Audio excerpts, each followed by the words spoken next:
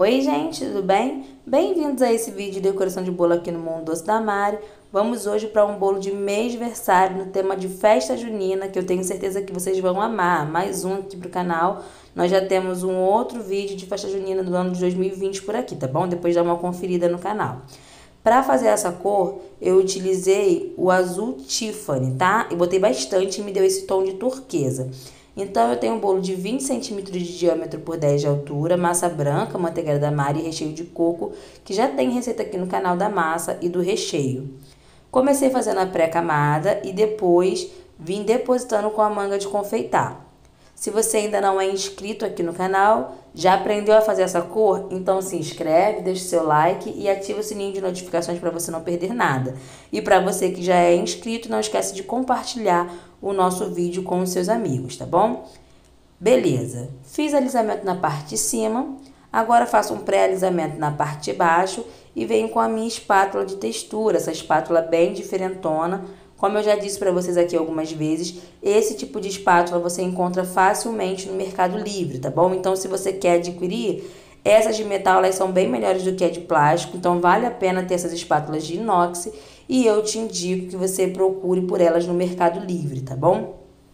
Passamos para as esquinas do nosso bolo tá? Sempre com um paninho úmido para facilitar o nosso trabalho. E se você quer comprar uma máquina de cartão e ainda não sabe qual, aqui no box de informações tem um link para você comprar a maquininha de cartão com 50 reais de desconto e é uma maquininha que não tem taxa mensal, você paga por ela apenas uma vez, tá bom? Então clique aqui no box de informações para você adquirir uma maquininha dessa e dar um up no seu trabalho, tá bom? Aí no seu negócio.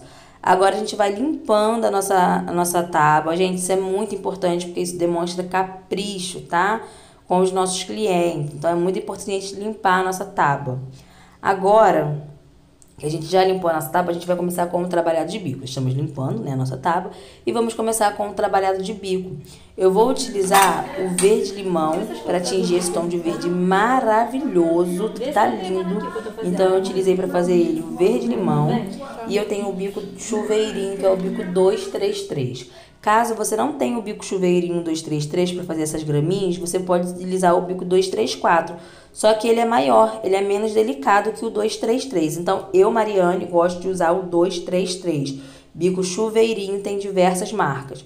Fiz o meu rodapé com o bico chuveirinho e agora vou fazer duas camadas de graminha com esse mesmo bico na lateral do topo, tá? Então, olha que bonito que ficou o contraste desse turquesa com esse verde limão. Achei que ficou bonito e colorido, né, gente? Tem a ver aí com o tema que é festa junina, então tem que ser bem colorido, tá? Esse já é o 11 primeiro mês do Benício, então já é o 11 primeiro bolo que eu faço pro mês aniversário dele, tá quase acabando. Uh, mês que vem vocês vão conferir aí o último.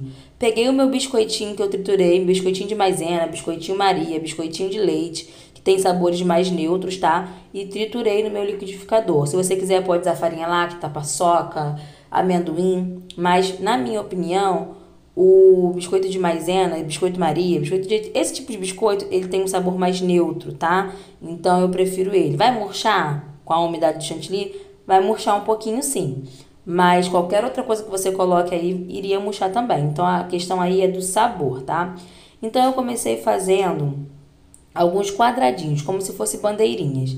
Então eu fiz três, é, como se fosse balãozinho, sabe? A posição que ele ficou ficou como se fosse um balãozinho. Então eu tô utilizando o bico 21 e aí fui fazendo três e mais três embaixo, mais três embaixo, um total de nove pitanguinhas tá? Aí eu escolhi a cor amarela e a cor laranja, porque o nosso bolo já tá com uma cor bem viva, bem colorida. Coloquei o nosso topper, é, que eu já ensinei como fazer aqui para vocês no aplicativo Pixel Lab. E esse é o resultado final do nosso bolo. Eu espero muito que vocês tenham gostado. Se você gostou, não esqueça de dar um joinha, se inscrever no canal se ainda não é inscrito. Se não segue a gente no Instagram, arroba Mundo da Mari. E se não participa do grupo e da página do Face, Mundo Doce da Mari também. Um beijão para todos e até um próximo vídeo. Tchau!